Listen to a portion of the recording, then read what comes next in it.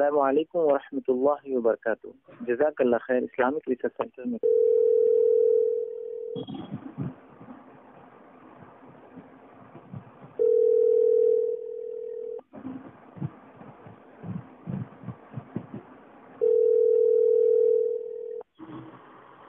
अस्सलाम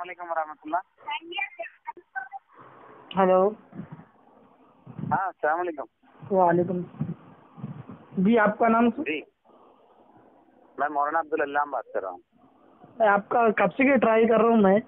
वो नंबर ही नहीं लग रहा था। भाई आ, आप ट्राई कर रहे थे सही बात है लेकिन क्या होता है हम लोगों के यहाँ नमाज़ होती है दर्स होता है। तो वो नमाज़ में दर्स के टाइम में नहीं उठा सकते ना। तो कब से कब तक टाइमिंग तो वो आप इतने इतने सारे उसमें ऑप्शन दिए तो कम से कम वो नमाज़ टाइमिंग का भी ऑप्शन दे देते। सही बात है लेकिन आप क्या कर सकते हैं इसके अंदर? नमाज़ के टाइमिंग बदलते रहते हैं। दूसरी बात यह है कि दर्द रहता है हमारी और दीगर मसरूफियात होती हैं। तो जब हम लोग फ्री होते हैं जब फ़ोन उठाते हैं जब नहीं होते हैं तो नहीं उठा सकते हैं। मतलब इसके अलावा इसके अलावा इसके अलावा भी और भी चलाते हैं आप? हमारे इदारे में दो तीन उलमा हैं जो बाकायदा ये फ़ोन लाइन संभालते हैं मसाइल का जवाब देते हैं। अच्छा। लेकिन फ़ोन कॉल्स इतने होते हैं मसरूफियात फिगर इतनी होती हैं कि इसमें ये मसला आता है भाई। अच्छा अच्छा। जी। आप- आप तो सवाल कर रहे थे आप बताइए। जी सवाल ये था कि आप तो आप लोग तो बड़े तोहिद के ठेकेदार हैं साहब तो ये था कहने का मतलब ये कि अभी हमारे हिंदुस्तान में मामला बहुत खतरनाक चल रहे हैं। वो नरसिम्हानंद सरस्वती और वसीम रजवी जैसे खबीर सुन्नत से सरकार दो आलम सल्लल्लाहु अलैहि वसल्लम की शान में गुस्ताखियाँ कर रहे हैं। तो आप तो बड़े करीबी हैं यानी आप हम दूसरों को काफिर और मुर्तद बताते हैं तो कम से कम आप लोग तो मुसलमान हो तो कम से कम आप लोग क्या कर रहे हैं इसके लिए?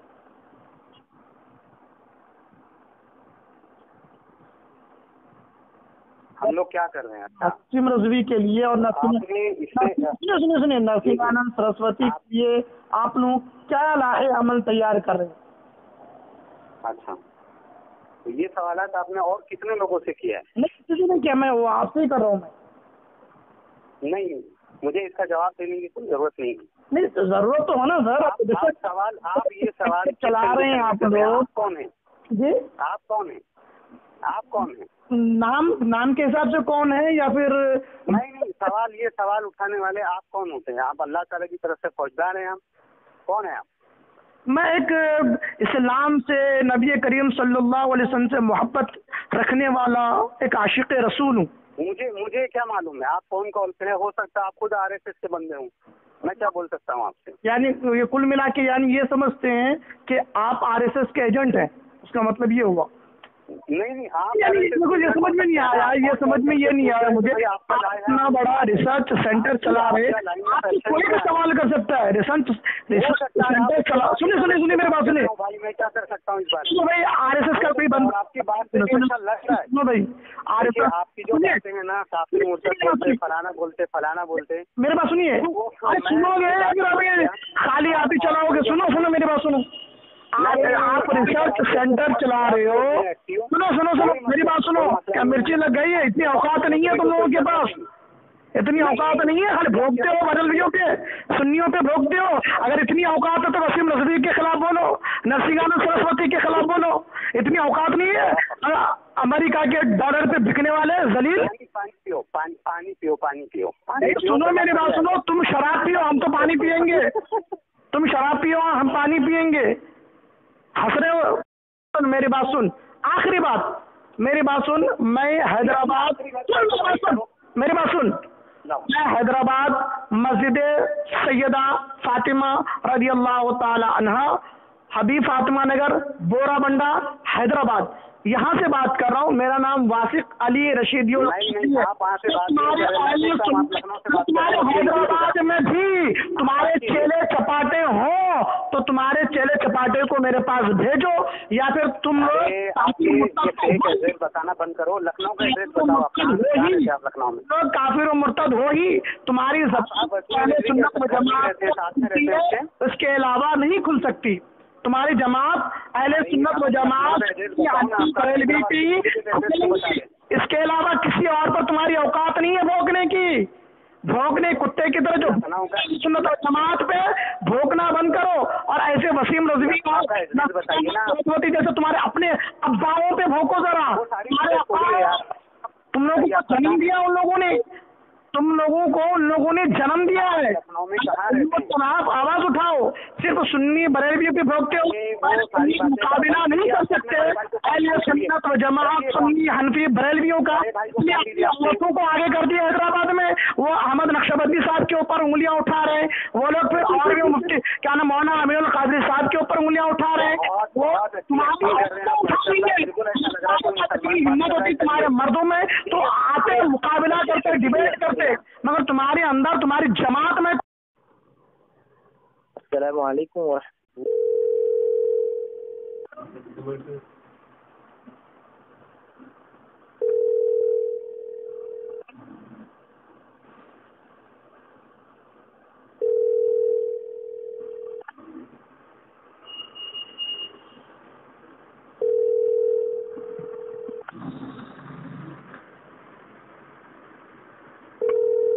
मैं उठा था आप कभी सो इस पे काम नहीं आते ये लोग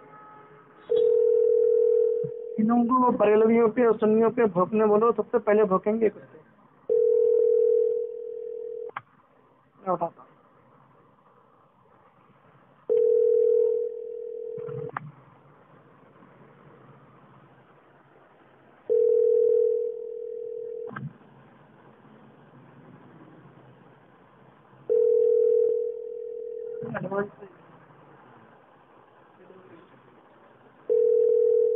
एडवोकेट फैज अहमद लिखता हूँ अपने आप को बड़ा ठेकेदार मानता हूँ तोहिद का। इससे बड़े ठेकेदार होते तब तक मैं उठाता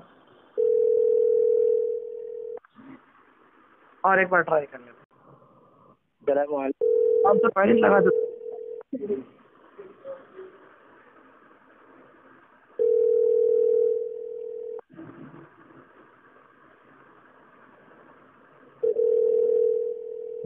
इन लोगों के पास दम नहीं है। हो गया समझ में आ गया खाली रिसर्च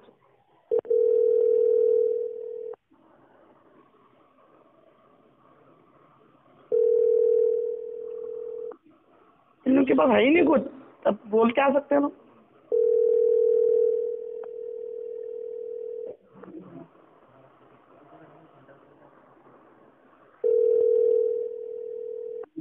हाँ, बस खाली ऐसे ही कुछ। खाने के पैसे हैं बस वो। America dollar.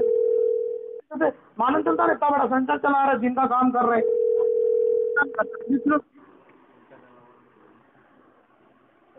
हेलो? सवाल का जवाब नहीं दे रहा क्योंकि है ही नहीं उनके पास ना। हेलो अस्सलाम वालेकुम रहमतुल्लाह।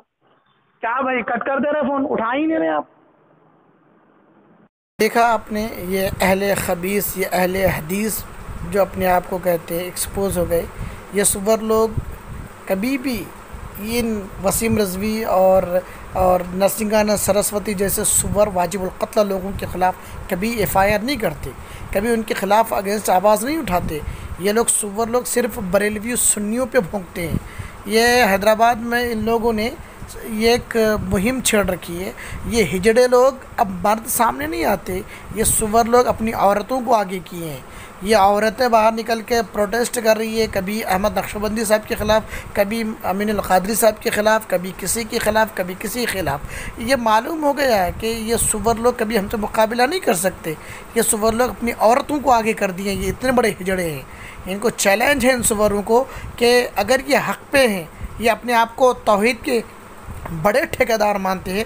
अगर इनके अंदर इतनी ज़रूरत है, जसारत है तो वसीम रजवी जैसे और नरसिंहानंद सरस्वती जैसे सुपर लोगों के ख़िलाफ़ आवाज़ उठाएँ और फतवा जारी करें उनके ख़िलाफ़ कि ये वाजिबुल कत्ल है। ये हम अहल सुन्नत व जमात हैं, जो अलल ऐलान करते हैं कि वसीम रजवी वाजिबुल कत्ल है नरसिंहानंद सरस्वती वाजिबुल कत्ल है। ये सुवर लोग न इनके ख़िलाफ़, ये सिर्फ़ मुसलमानों को भटका कर ये सऊदिया से और अमेरिका के डॉलर पे पलने वाले ये दीन फरोश लोग हैं। एक्सपोज हो चुके हैं ये लोग। बार बार मैं कॉल लगा रहा हूँ कॉल भी नहीं उठा रहे मैं एक ही सवाल किया था, क्या लाहे अमल तैयार कर रहे हैं? मगर इनकी ज़रूरत नहीं हुई उसका जवाब देने के लिए, क्योंकि ये उन्हीं के गोद में बैठे हुए हैं R S S B J P के गोद में। ये सुवर लोग कैसे जवाब देंगे? अब देखिए, अगर अच्छा लगा तो शेयर ज़रूर कीजिएगा।